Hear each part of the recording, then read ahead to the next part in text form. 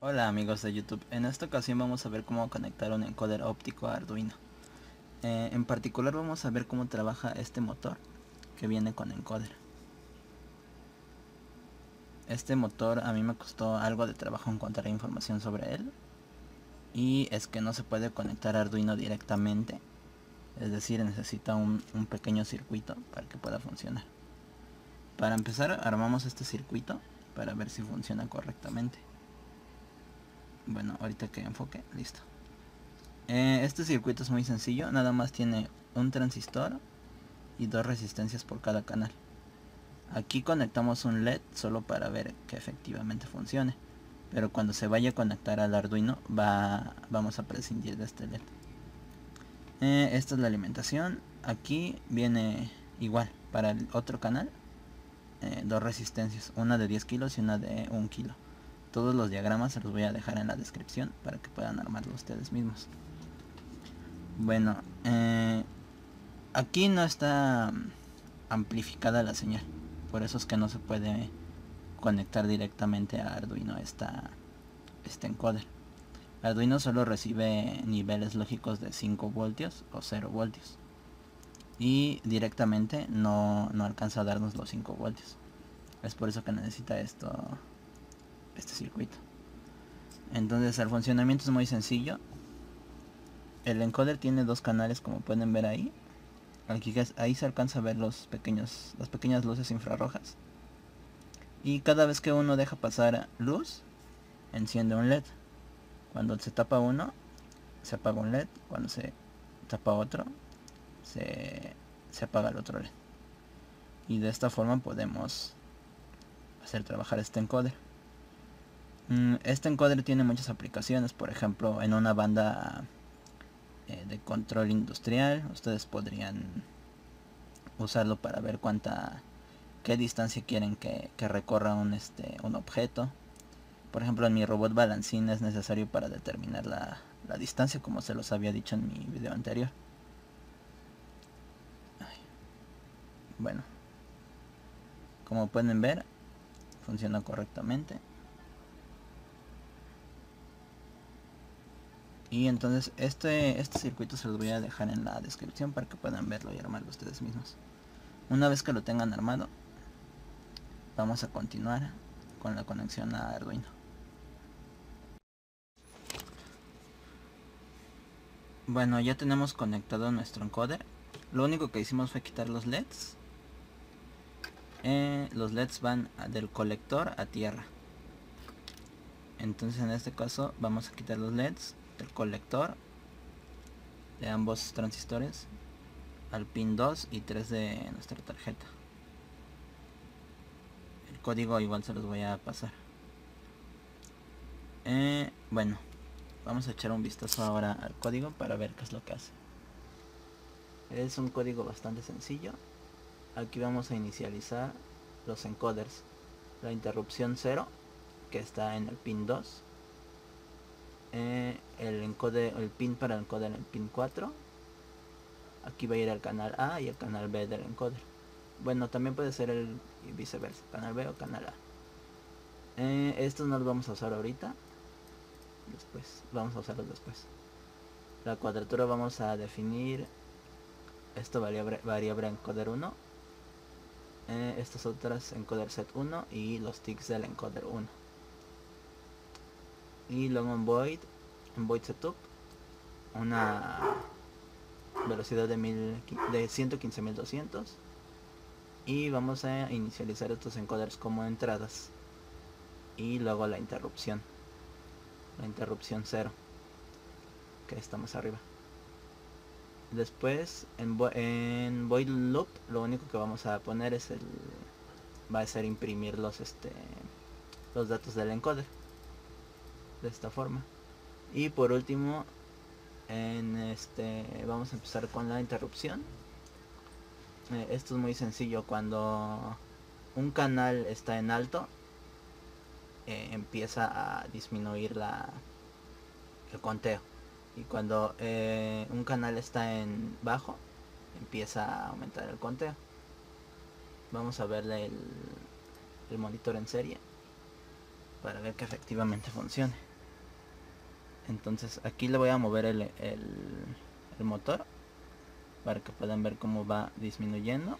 Y si lo muevo hacia el otro lado va aumentando el, el conteo. Para lograr esto se necesitan dos canales porque si no este el Arduino no tiene la referencia para poder ver la dirección hacia donde va el encoder. Entonces hacia un lado aumenta hacia el otro disminuye aquí le estoy dando vuelta. Y como pueden ver si funciona correctamente.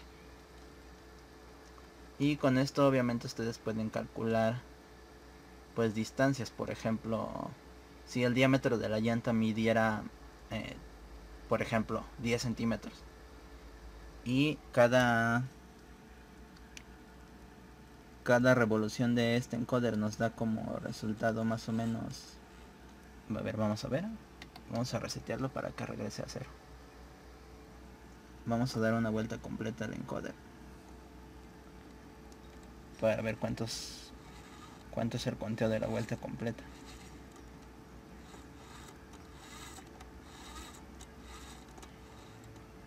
Ya ahí está más o menos una vuelta completa y son 802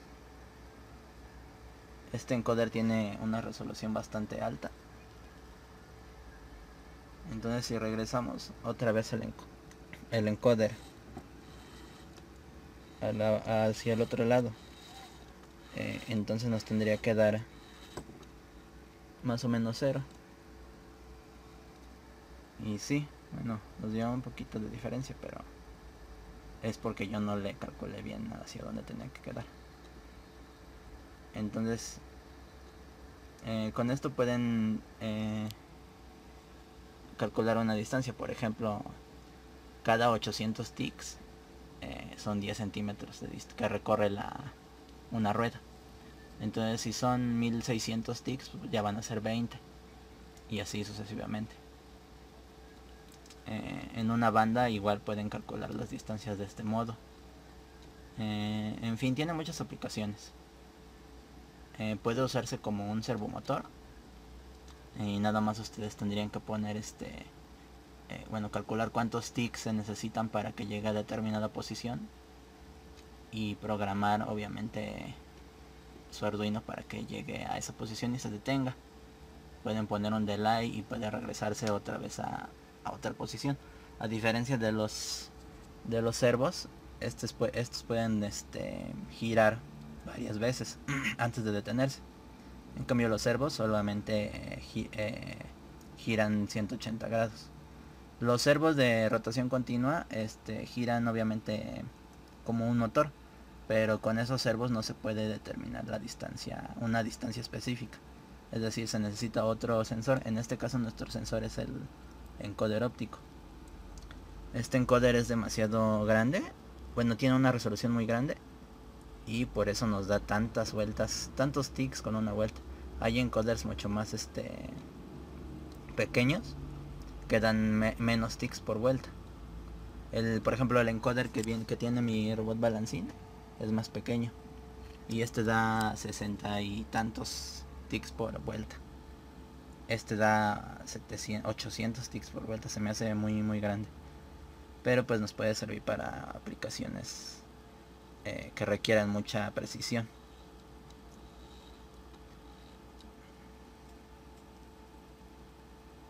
Se me había olvidado decirles que si tienen un motor que un motor con encoder que ya da una salida de 5 voltios, pues obviamente ya no es necesario hacer todo esto. Es decir, el, el encoder ya sería se encargaría de todo. Los encoders como los de los motores Polulu eh, funcionan bien, no necesitan esto. Ya nada más se conectan al Arduino. Y los motores eh, Polulu tienen una alimentación de 12 y una alimentación de 5. 5 para el encoder y 12 para el motor. Eh, obviamente aquí estamos agregando este, este porque no tiene ese circuito. Esto, este encoder es muy sencillo, nada más tiene eh, los sensores ópticos. Y bueno, por último vamos a ver cómo, cómo hacer funcionar lo que les decía. Eh, si en cuanto de 1800 ticks, 1800 este, pulsaciones el encoder, el motor va a, regresar. Es decir, va a empezar girando hacia un lado. Cuando dé 1800 ticks, va a regresar hacia el otro lado. Cuando dé menos 1800 ticks, va a volver a girar hacia el otro lado. Es decir, va a estar girando de un lado hacia otro. Eh, aquí vamos a ver un poco el, código. Eh, lo único que agregué. Ah, bueno, también quiero aclarar que al principio dije que los encoders iban en el pin 2 y 3. Eh, van en el pin 2 y 4. Canal A y canal B. Bueno, aquí están las variables para el encoder. Como les recomiendo que le pongan define en lugar de, de int. Porque estas variables no van a cambiar, más bien son constantes. Son constantes, perdón entonces aquí vamos a poner este, los encoders eh, en el pin 8 pin 7 eh, para habilitar los, los este el motor perdón motor pin 8 pin 7 y el PWM del motor en el pin 9 eh, luego también agregué esto.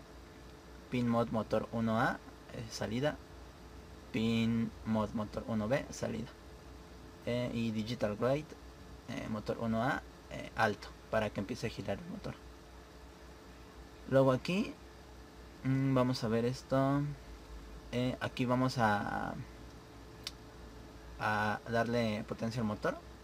Yo le puse 200 pero puede ser hasta 255 para que no vaya tan rápido yo le voy a dar nada más nada más 200 luego si el encoder es igual a 1800 a menos 1800 el motor va a girar hacia un lado es decir una, un pin va a ser high y otro low.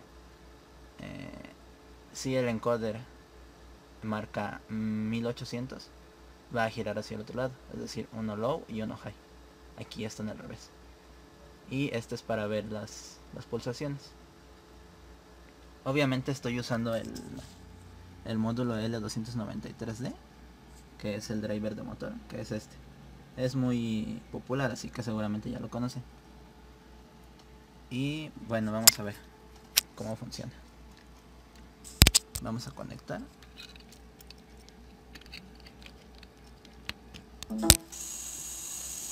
Como vemos empieza a girar y cuando da los 1800 regresa. gira y regresa.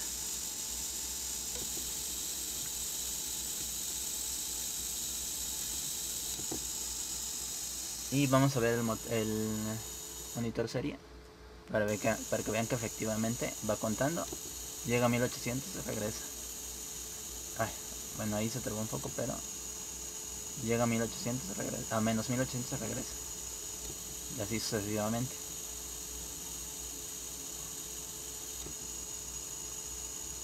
y esto es muy preciso es más preciso que los que los servomotores como pudimos ver tiene como 800 podríamos decir que está dividido su vuelta en 800 grados bueno en 800 partes no son grados y a diferencia de los servomotores que solo tienen 180 aquí vemos que está funcionando y vamos a ver efectivamente está haciendo su trabajo.